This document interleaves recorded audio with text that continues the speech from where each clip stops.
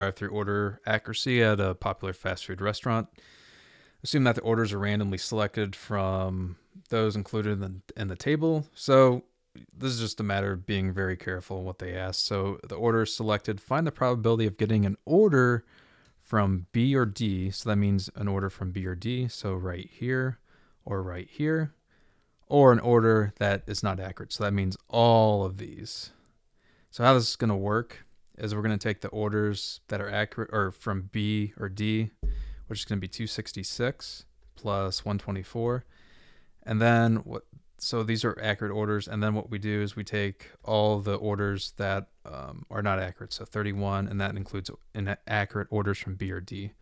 59 uh, plus 34 plus 19 over every single oops order. 24 plus 266 I'm, I'm jumping around here 233 so that's a b a b c d. They're not in order there but that's all of them. And then this includes all the inaccurate orders from the restaurants. Oops and when we run this through a calculator it's better if you have excel to use this. You click this tab up here and it give you an excel document. But anyway this rounds to three decimal places 0.483 and that's it. Okay, I hope this problem helped you out. Appreciate you taking the time to watch, and you have yourself a great day.